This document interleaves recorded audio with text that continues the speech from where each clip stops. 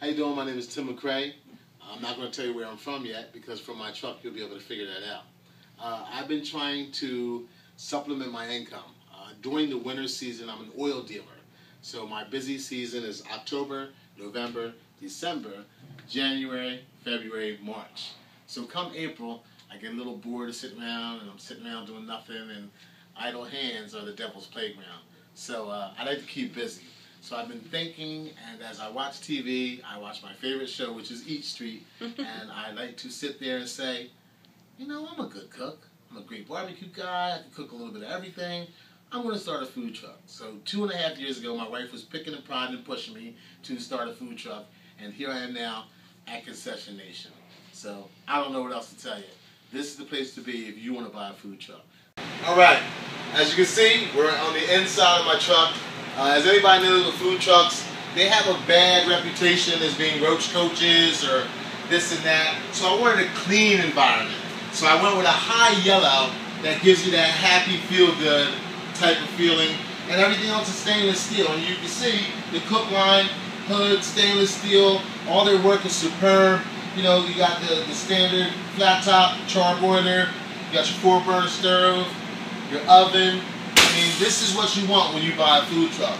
As you can tell, like I said, the uh, stainless steel, the yellow, it's a good feel, good color. It's a warm color. It, uh, it makes the truck feel clean and new. And plus, when you're in here working, and you're trapped in here for 8 to 10 hours, you want to be as happy as possible. So this color, if yellow don't make you happy, no other color will. So, welcome to my world. All right, whoa, whoa, whoa. Don't judge me on the name of the truck. All right, before we're inside, I want to let everybody know exactly where I was from and where I was going to be operating. But I guess now I don't have to tell you. Jersey Fresh, you know where it is. Trenton, New Jersey, all the way here to Florida to get a food truck. Who does that? It almost makes you say, what the F? My cousin was so excited to come to Florida and pick up his food truck that I had to come with him. What's up, everybody? Just want to thank you for hanging out with us, learning a little bit about the WTF truck, which stands for Where's the Food? It could also it could also mean what type of food. Because, What type of food? Yeah, because a lot of people have that question. You see the big WTF, what type of food? So we're gonna have everything for the vegans to you know people that eat Jocks. barbecue.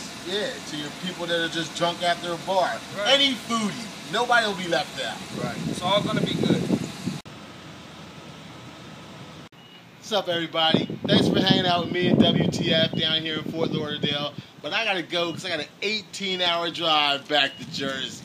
Look, you guys want a real top quality food truck, make sure you come down and see these people here at Concession Nation Food Truck, one of the top food truck builders in Fort Lauderdale, Florida. Love to hang out, gotta go. WTF.